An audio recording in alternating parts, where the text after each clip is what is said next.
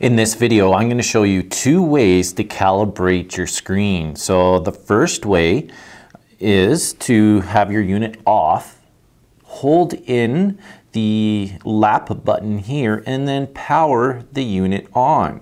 So we'll do that. I'm holding in the lap button, powering the unit on. I'm going to hold the lap button until I see the calibrate screen menu. And it's just going to take a second or two till we get there.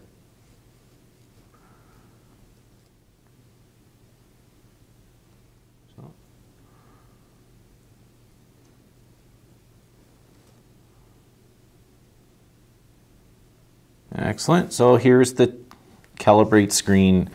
Uh, it may be tough to see in this video because it comes up very dim. The brightness of the screen doesn't turn up. So let's touch the dots. I'm going to use this uh, eraser just because it's a little more accurate than my finger.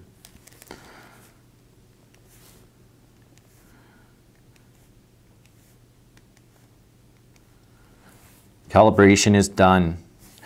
There's another way to calibrate your screen. First I'll turn up the brightness so we can see it. We're going to go into our setup, system, display, last option is calibrate screen. So again, we're going to go through the same process, use something a little more accurate than your finger if you got fat fingers like myself.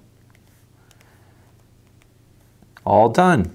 So that's how you calibrate the screen in the Garmin Edge 810 bike computer.